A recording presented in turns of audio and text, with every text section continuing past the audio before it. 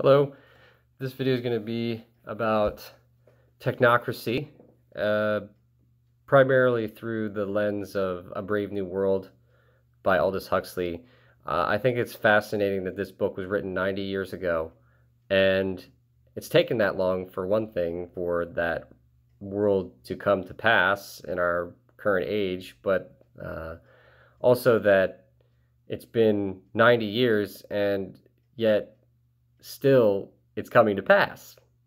You know what I mean? Like, I've had plenty of time to sort of think about this, and instead it's been something that, like, 1984 was the thing that people have focused on so much instead of A Brave New World, which ultimately is the more accurate version of the predictable future that uh, between the two authors was popularized.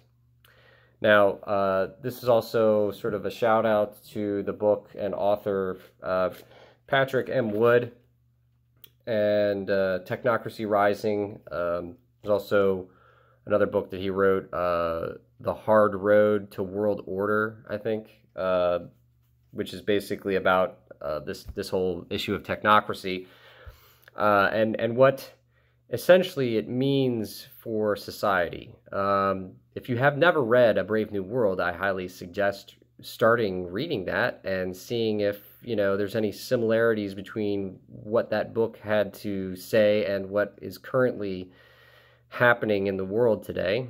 Um, the other thing is listening to Aldous Huxley speak about the future how we would be in love with our enslavement and subjugation uh, to this new dictatorship, the dictatorship of the future, as he called it, which wouldn't be with guns and tanks and so on and so forth, but with sort of a society that has become in love with its own enslavement. And that the people would be so controlled mentally through propaganda, through the, the means which were relatively new at the time when he wrote this, uh, but which have become standard practice in the form of public relations in our modern era. Public relations is the term that Edward Bernays, the author of the book Propaganda, used to repackage his concept of propaganda. So, whenever someone's using the term public relations, they're actually talking specifically about propaganda. Propaganda, public relations, they're synonymous. They're basically the same thing. Now, what we now have today is basically a plutocracy of the elite who happen to run the government through the financial instruments that they control, namely the Bill Gates, for instance, has the Bill and Melinda Gates Foundation. The Rockefellers have the Rockefeller Foundation.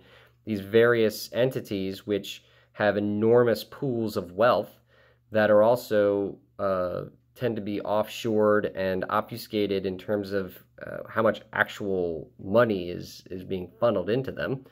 But they have immense amounts of power politically because of this. And uh, Citizens United crystallized that political power in the form of uh, corporations being people so that they can have freedom of speech and that we are all essentially uh, given fealty through the political structure to these corporations. Uh, that's inherent to the to the systemic structure of that. So it's actually a very uh, frightening reality when you when you understand the the overall sort of complexity of all of this which is basically to suggest that all of humanity has become enslaved and imprisoned on this planet through these mechanisms. Uh, so what what they did was they didn't uh, they didn't bring justice to Jeffrey Epstein. Instead, every every human being on planet Earth has become enslaved and, and punished for being human.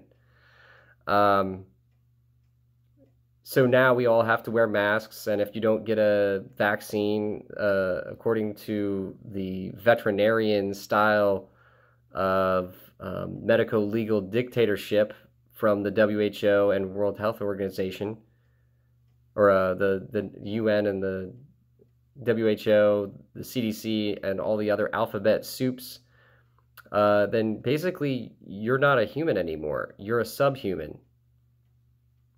Subhuman now, because you have not complied with the guidelines that were set forth by institutions that have no accountability politically or otherwise to the people. And in fact, Gavi is completely politic, uh, completely immune to any form of uh, government regulation in Switzerland, which is the vaccine alliance that Bill Gates set up for all of us to be sort of uh, conditioned to comply with. And he owns a good portion of the WHO itself, so he was able to rewrite different definitions uh, like pandemic and immunity so that the only way that you can have a pandemic is if it's a cold that can be spread worldwide, which is like anything and the only way that you can become immune to it is through vaccination, specifically and solely. You can't become naturally immune to any kind of disease anymore, according to the WHO and the CDC, basically because the WHO and the CDC. So you you basically have to submit to the vaccination program if you're going to be considered immunized. You can't be immune to anything naturally anymore. What a world to live in. Uh, the, the plutocrats have taken over the world. Plutocracy has, has literally become the world government at this point. And the, the general population, the 99%, are so inured and so controlled, so enslaved mentally, that they love it. This is the new normal for them. And those of us who don't comply, those of us who are not in complete enslavement mentally, are the bad guys. We're the new terrorists, basically. Um, we have no rights, according to them, and we should actually be forced into compliance legally, according to them. The future is very dark. And I'm very saddened by what I'm seeing on a daily basis.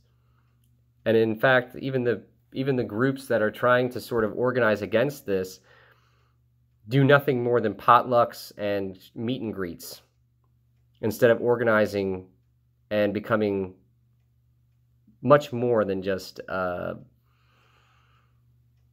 what they do anyway.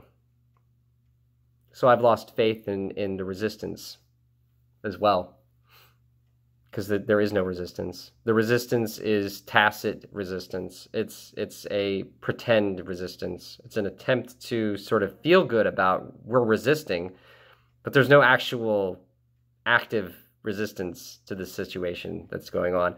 The only way to actually resist this is to do it politically, non-violently, according to the to the works of Gene Sharp and others who who have actively resisted these kinds of uh, systems, it's actually uh, really disappointing to see that.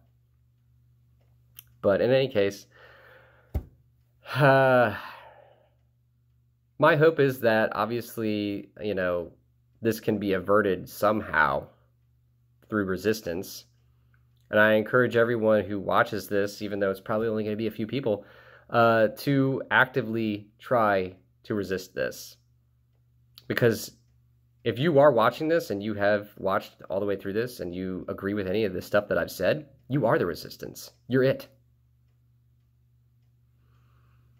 In any case, I'm going to make another video probably talking about uh, the overarching solution that I've come up with to all of this, uh, an attempt to sort of streamline it, streamline it.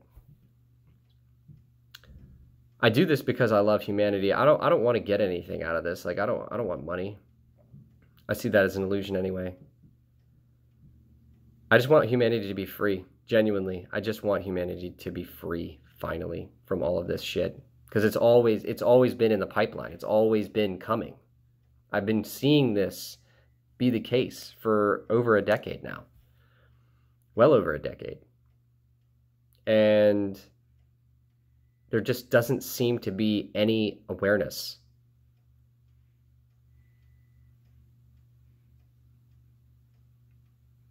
Love and appreciation.